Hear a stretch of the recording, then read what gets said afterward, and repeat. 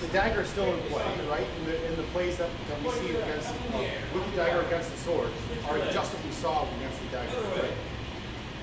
Uh, so, uh, super familiar. And then we get um, sword against dagger, and they're all um, choking on my water. Uh, and, and they're, they're all uh, defenses with a sheathed sword, right?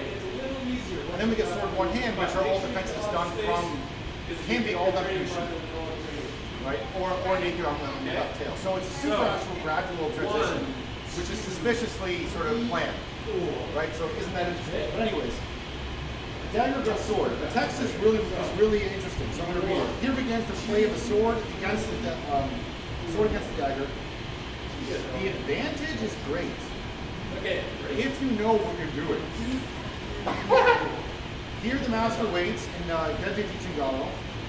Whether it's against cuts or thrusts, um, I'll know how to how to be safe. I'll pass back with my right foot as I carry, which is interesting. I won't do it.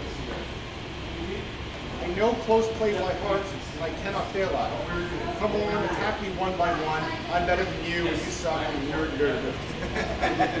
so the, the first the first line, the second line is really uh, weird. The advantage is great if you know what you're doing. How do you come cast that, that out? So obviously the advantage isn't great, seeing as you have a stroke weapon against a long one. We're assuming that the skill of both both people is equal. The dagger man is uh, uh, is in a, a bad way.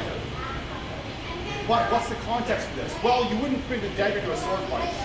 So if it's some kind of self-defense context, it's a fair uh, assumption that they're trying to kill you with their sword. Which means they have to come to you. Right? You're definitely not in a West Side Story standoff. Right? You, you, you're in this terrible situation where you, you show up against a